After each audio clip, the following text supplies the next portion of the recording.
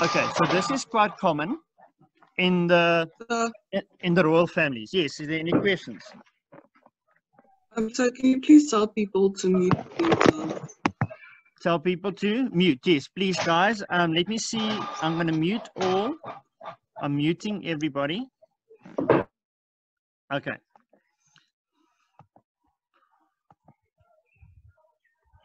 Thank Just- you. Okay, I've muted everyone. I'm just taking a look at who's also joining quickly.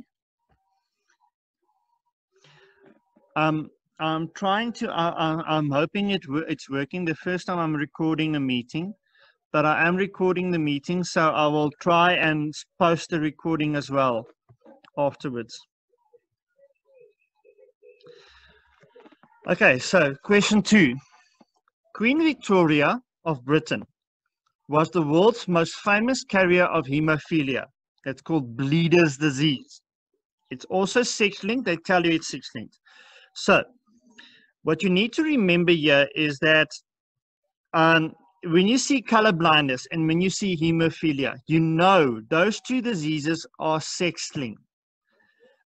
Be careful to make everything sex linked uh, when when we when we do these pedigree diagrams. Um, when it's color blindness, it's sex linked. When it's hemophilia, it's sex linked. Any other case, they will tell you it's sex linked. Okay. Then, her children spread the gene fairly widely through the royal families of Europe, Prussia, and Russia at the end of the 1800s. Indicate the possible genotypes of each of the people below. So I'm only going to indicate those with names. Now, this is quite a common example. And the reason why this happened, why this gene survived, is because if you were a prince, we had to marry a princess.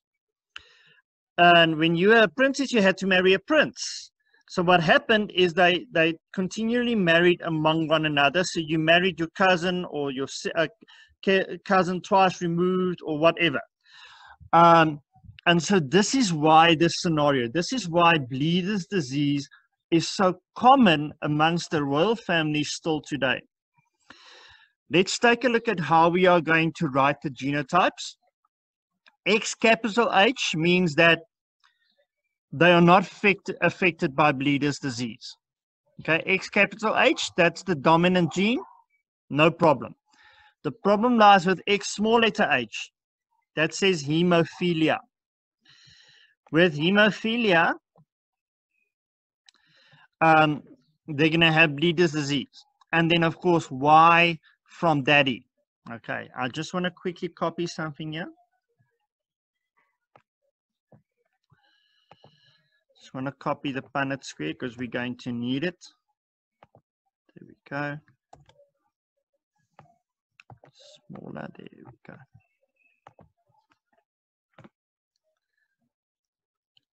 Okay. Now,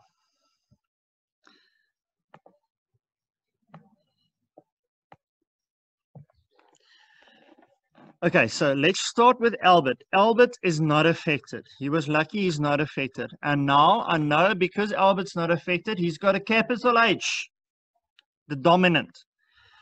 I know he's got a capital H because the Y doesn't make up for the small letter H um, that's there. So I know he's a he's a male, so he's got to be XY because he's a, a he's a block, not a circle. Queen Victoria, I know she's got a capital H because she's not affected, but she did carry the disease to Leopold, who's over there, and so she had to have a small letter H as well a small letter h as well. Okay, then let's take a look at Edward over there. Edward, lucky, he's got a capital H. I know that because he's not affected. And just quickly, just uh, see there's some messages coming through. Just want to double. Um, no, okay. It's none of you, so it's fine. Okay, so Edward, he's got a Y because he is a a male, so he's XY. Alice, okay. So Alice is a female. She's got two X's. She's not affected. So she definitely has a capital X because she's not affected. But let's take a look. Oh, look over there. She's got a son. She has a son and her son is affected. And because her son is affected, I know that she is a carrier. So small letter H for her as well. Big H, small h. Leopold is affected. That's an easy one. So I know he's got a small letter H. He's a male, so he's got a Y. Beatrice. Beatrice passed it on to two of her sons. So I know she's got a small letter H. But she's not affected, so she's also got a big letter H. Let's go to George. George the fifth and George the sixth. Okay, so with George, Edward was not affected, and he's not affected either. Neither is George the sixth. And they're both males, so they got a capital H for the X, and they got a Y because they are males. There we go. Let's take a look at Valdemar. Valdemar is affected, so he has to have a small letter H. He's a male, so he has to have a Y as well. Let's go to Heinrich. Heinrich is affected, so he's got to have a small letter H. And he's got to have a Y because he's a boy. He's a male. Alexis. Now, that sounds like a girl's name, but he's a boy because it's a rectangular block. So, and he's affected. So he's got a small letter H and he's got a Y. Two people to go. Alfonso and Gonzalo. Sounds very Italian. Italian side of the family. So, both of them affected. Both of them have small letter H's. Thank you, Beatrice, for giving them the small letter H. And then a Y and a Y because they are both males.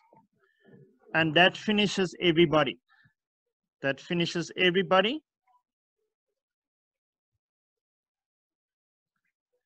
Just giving you a moment to take a look at the diagram and just copy or correct whatever you needed to correct.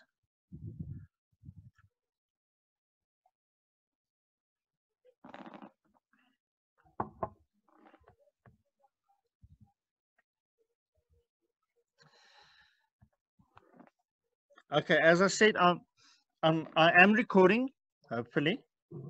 First time using the recording function on this. And I will be posting the video afterwards.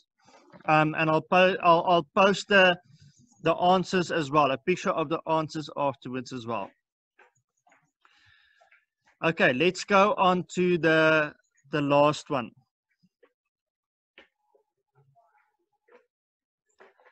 Okay, last question is an easier one because